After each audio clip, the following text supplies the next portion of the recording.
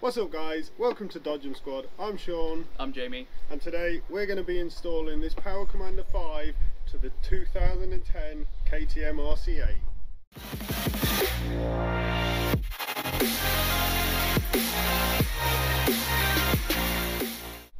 So the first thing we need to do is remove both side fairings and remove the tank and then it says lay the P Power Commander 5 next to the battery and route the harness along the frame which shouldn't be too bad because we already did the quick shifter It's basically the same thing. although the tank is a nightmare. Didn't take the fairings off though, did you? No, I don't know what it means by side fairing. It says both side fairings but everything to me on this side is the side fairing. You're going to take that off as well. But that's the tail fairing. I guess that would make sense. Because Well let's do the tank first. Yeah, and then we'll see what's We've got to do the airbox because Yeah. we have to get to that front uh, uh, top of the ode barrel. Yeah. Right, let's do that. Okay, let's do tank it. off first. So what power does this put out? At the moment, Standard. it's supposed to be 150 horsepower. It's not a lot. And what was yours? One three eight. Yeah, it's not as much, is it? But it's delivered. But I genuinely think uh, if we just did a standing start, if we got to like 120, mine would probably, that's when the extra horsepower would start pulling. Yeah, but Do you think? that extra horsepower is the torque in it at that speed. Yeah. So you. But then these are really torquey. Yeah. What are they like? They're like 140 pounds of torque to Yeah. 148 This is quite. brake, aren't they, or something? Yeah. But mine's about 30 torque. Yeah. Yeah. It'll be interesting to see what it makes Oh yeah. when it gets mapped. On my own, holding the tank under an armpit. Didn't. The perils of KTM fuel tanks. I'm not helping. What? Social distancing. That's. Should be. Is that wet? No. Is it? It made a squelch when I pressed it. No, rubber that is. That's rubber. Oh, it is wet. Oh, oh, fire! Oh, my friend's on fire! Oh, my friend to death.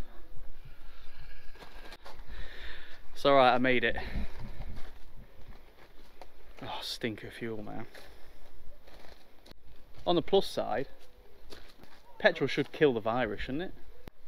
There's a mod for these called the Rottweiler mod, and it puts a spacer in here, a foam spacer, and you bin off the lid, and it uses the tank as the lid with this spacer, and you get like a big plenum, far bigger plenum. You're a big fan of them mods, aren't you? You had one of them Plenum on the mod. I know. 350Z. I thought, but what The exact same thing. Yeah. And that was a V engine. Everything, everything I buy has V engines two smaller plenum. with plenum mods. Yeah. Because they thought in the factory actually that's enough airflow we don't need any more and then someone else turned around and went actually you need another 5 mil of airflow in there I love when they release stuff from the factory and then make you pay to make it how it should have been from the factory. well like when they didn't put enough like R&D in Yeah, and they just rushed it out and went oh yeah we probably should have fixed that bit before like we sold it." GoPros. Yeah, they use the they use the first two million sales as beta testers, and then they without go, telling anybody Yeah, and then they go oh by the way here's like a 200 meg update for your camera right. Locate rear ignition. Unplug stock wiring harness from coil, which you did that, didn't you? Yep. Plug that in. Blue in line of rear and stock wire harnesses. What's your estimation for after it's been mapped I know because they'll do it wheel horsepower, won't they? they can yeah but you can calculate it can't you to crank I suppose. So I guess if you ask him he'd be able to tell you both How much realistically can you get?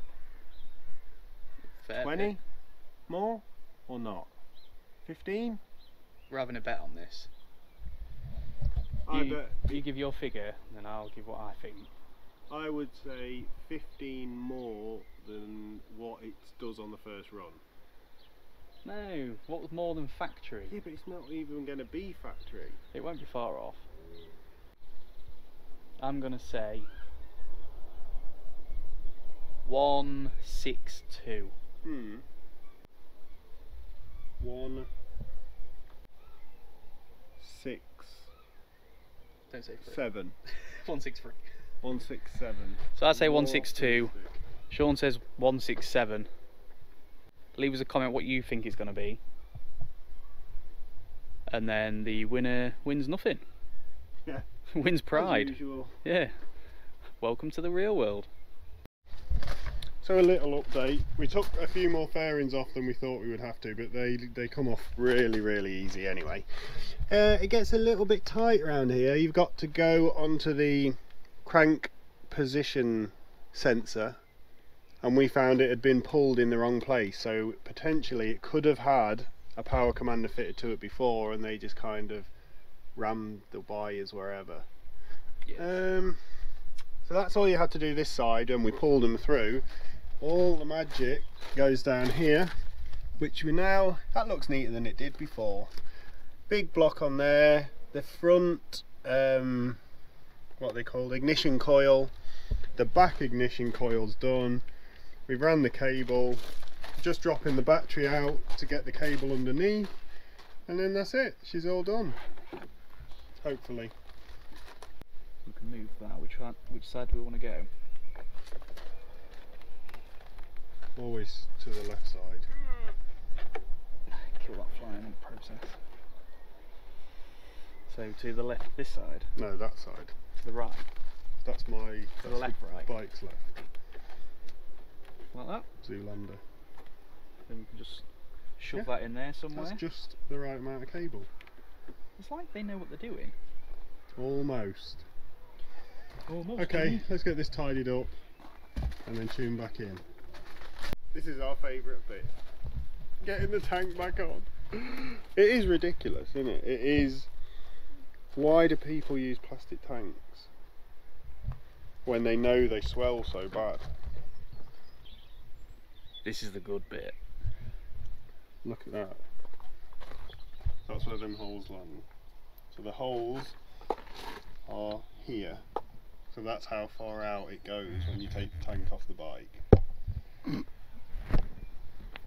That's quite a long way. Isn't it? Right, let's struggle with this real. Shit. Ah!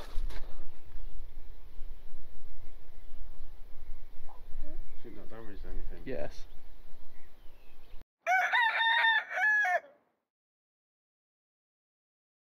You shorted the things out. No. Yeah. Again. you and batteries. At least that wasn't filming.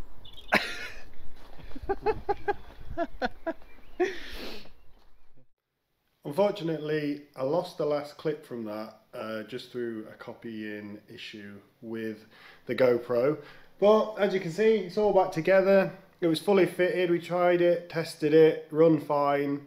Uh, the mapping is booked for next week. So depending on when we put this up, it should be roughly seven days after this video. Uh, make sure you have a guess in the comments of what it's going to make above standard. Uh, obviously, we've had a guess. It could make loads more and it could make not that much, but you never really know how these things are going to go.